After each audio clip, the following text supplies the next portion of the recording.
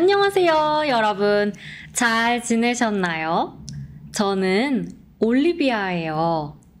이번 영상에서는 일에 대해 이야기하려고 해요. 여러분은 어떤 일을 하고 있어요?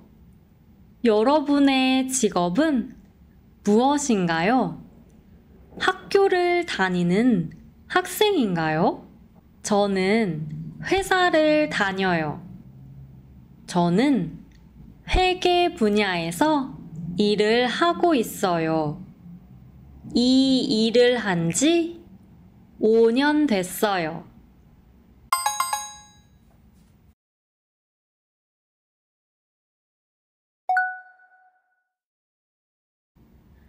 회사는 집에서 멀지 않은 곳에 있어요. 그래서 지하철이나 버스를 타지 않고 걸어서 갈 수 있어요. 저는 매일 출근하지는 않아요. 지금은 일주일에 한 번만 회사에 가고 나머지는 집에서 일해요.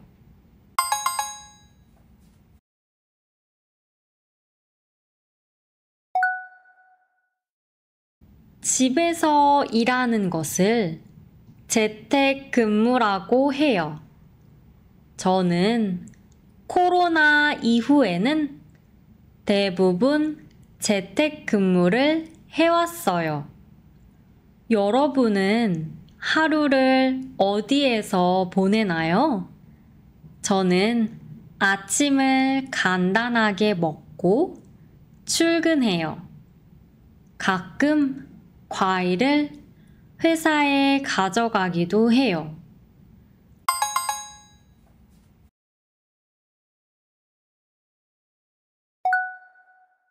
날씨가 좋을 때는 걸어가는 동안 음악도 듣고 유튜브도 들어요.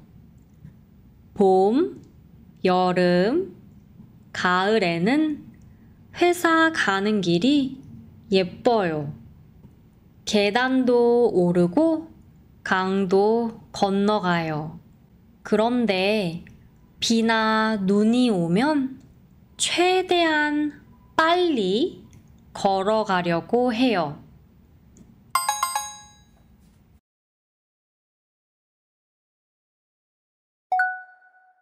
특히 겨울에는 짧은 시간이지만 너무 추워서 나가기 싫어요. 제가 살고 있는 곳은 겨울이 아주 길어요. 이곳은 보통 11월부터 다음해 5월까지 추워요.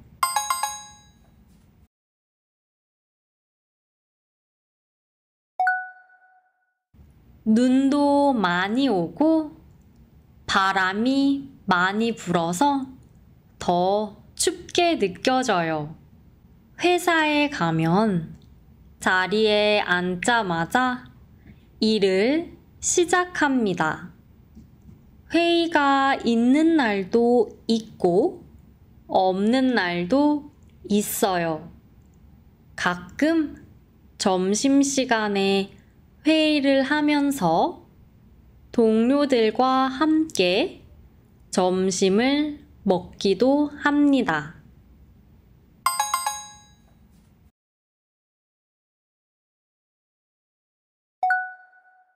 일이 바쁘지 않으면 보통 5시에 집에 와요.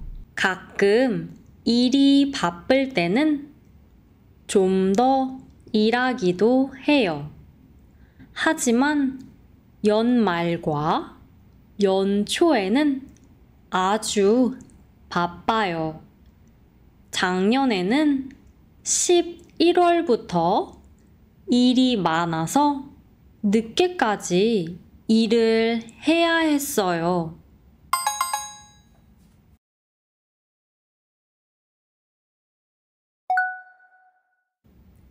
정해진 시간 안에 일을 끝내야 해서 주말에도 일을 했어요. 계속 일을 하고 스트레스를 받아서 결국 크리스마스에 아팠어요. 일주일 넘게 감기에 걸려서 집에만 있었어요.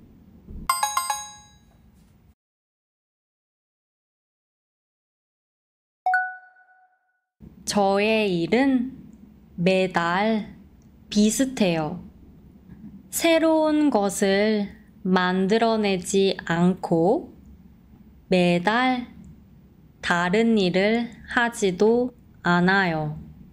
그래서 좋기도 하고 싫기도 해요. 회사는 저에게 월급을 주지만 일을 하는 것이 즐겁지는 않아요.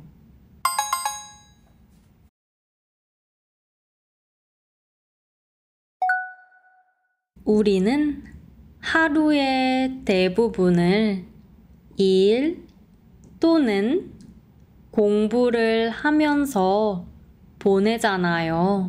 저는 매일 아침에 일어나서 하는 일이 재미있고 행복한 일이었으면 좋겠어요.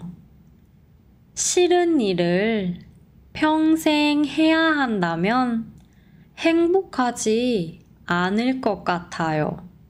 유튜브는 제가 회사에서 하는 일과는 완전히 다른 일이에요.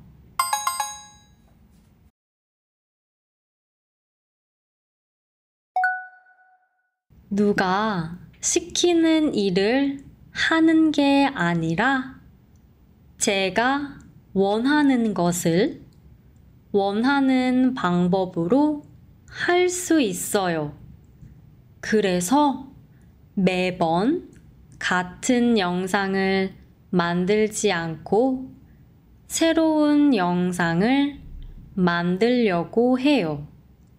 다양한 시도를 해보고 싶어요.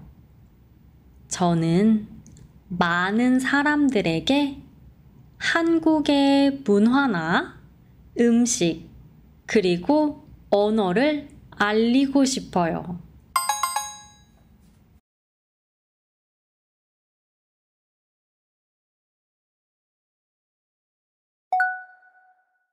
요즘은 전 세계적으로 한국에 대한 관심이 커지고 있어서 제 유튜브가 많은 사람들에게 도움이 되었으면 좋겠어요. 여러분이 하고 싶은 일은 무엇인가요? 댓글로 공유해 주세요. Thank you for watching and I'll see you guys next time. Bye!